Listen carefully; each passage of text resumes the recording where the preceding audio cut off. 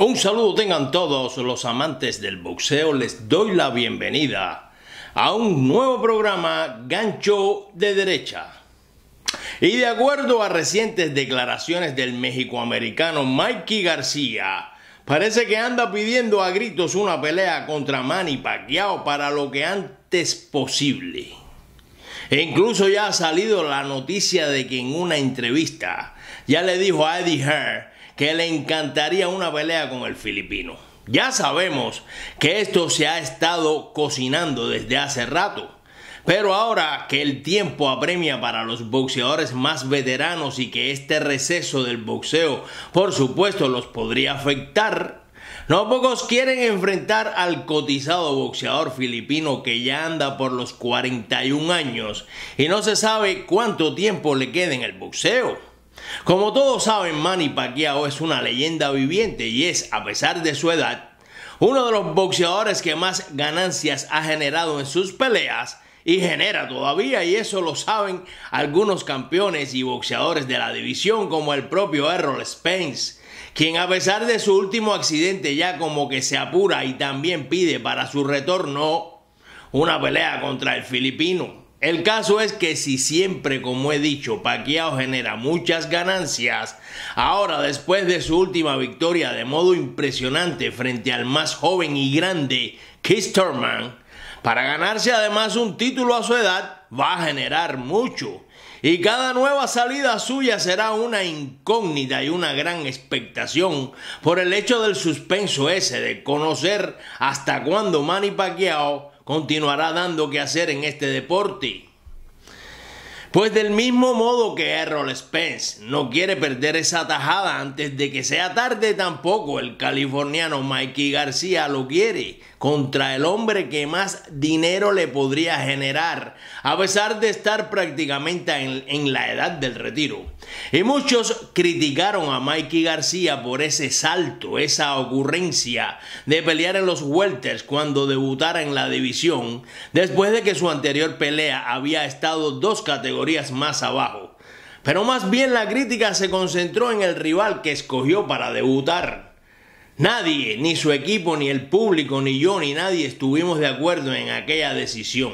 Y repito, a pesar de que he dicho que para mí la división ideal para García es la de los superligeros debido a su físico, no se le criticó tanto, tanto por empeñarse en la división welter de pronto en busca de un récord, sino más bien en eso de escoger bruscamente al mejor o a uno de los mejores para dicho debut. Y el resultado fue casi el esperado. Tras el experimento, Spence le ganó cómodamente cada uno de los 12 rounds para obtener una victoria abrumadora en pelea que opino se debió de tener antes del límite. Y digo casi porque muchos esperaron el knockout. Y al menos no sucedió, pero la victoria fue abrumadora realmente. Pero ese fue el inicio en los welters, solo eso. Luego Mikey persistió en la división a pesar de la debacle y derrotó por decisión a otro welter, pero con una tal vez mejor estrategia, al escoger esta vez a un rival más asequible como Jesse Vargas. Y ahora, después de ese último éxito, no espera nada en reclamar por la pelea con la que ha estado soñando y me refiero a Manny Pacquiao. Y analizando bien su experimento no le ha ido tan mal, pues en sus últimas peleas, sobre todo contra Spence, pudo obtener la mayor ganancia de su carrera. Así que imagínense ahora si es que logra cuadrar con Pacquiao. O sea que por mucho que se le haya criticado por no irse por rivales de otras divisiones, entre los que han sobresalido nombres como el de Lomachenko, parece que el objetivo de Mikey es la ganancia y no quiere dejar escapar esta que representa Pacquiao. Y en este sentido realmente no lo puedo criticar. El hombre ha perseverado en una cosa y mantiene su mira en eso, en un objetivo.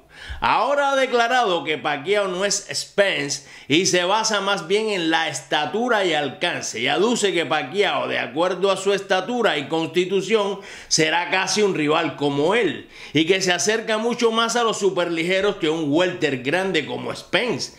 En eso no hay dudas. Tampoco hay dudas de que Pacquiao cada vez se encarama más en la curva de la decadencia, a pesar de haber roto las reglas últimamente.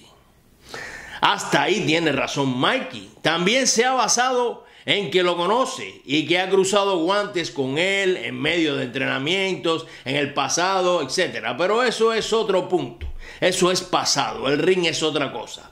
Pero a lo que me refiero es que es cierto que todo eso de la estatura y que la edad lo favorece. Pero tampoco podemos descartar aquí otra cosa, que el estilo de Pacquiao no es el de Spence. Mikey García, opina que el estilo del filipino se ajusta al de él y en ese aspecto habría que ver si la balanza lo favorecería. La no ventaja de Pacquiao en peso o alcance y su veteranía o edad por un lado contra la explosividad a pesar, a pesar de sus 41 años y mayor velocidad que Mikey podrían generar muchas dudas en una pelea contra García. No quiero hacer comparaciones en base a resultados, pero si por una parte García ha dicho que Pacquiao no es tan grande, Pacquiao podría también pensar que García es de los más pequeños que haya enfrentado. Pues se sabe que el filipino, incluyendo a Thurman, por lo general siempre ha sido más pequeño en sus peleas, pero esta vez no lo sería. O sea, habría que ver quién podría salir más favorecido en ese aspecto. Si García por no enfrentar a alguien como Spence, como él asegura, o Paqueado por enfrentar al fin a alguien de su tamaño.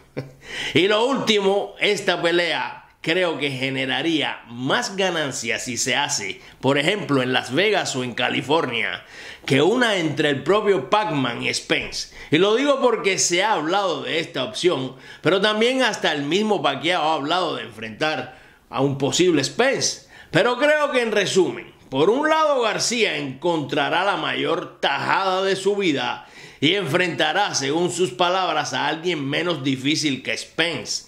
Pero por otra parte, Pacquiao recibirá mucho también peleando contra García y a su vez podría suponer que su tarea sería más fácil que contra Spence también, del mismo modo. Entonces, pienso que la pelea podría muy bien hacerse, pues ambos se favorecerían enfrentándose entre sí sin dejar de percibir grandes sumas. Pero ¿quién ganaría? Yo les daré el pronóstico cuando se haga oficial. Por ahora, nos movemos en el campo de las suposiciones y se los dejo a ustedes. Muchas gracias. Quiero saludar en el día de hoy al buen amigo Sodoma City, al buen amigo Fabián Cisneros y a mi amigo Agapito Vélez. Gracias y bendiciones a los tres. Nos vemos próximamente en otro programa. Gancho de derecha.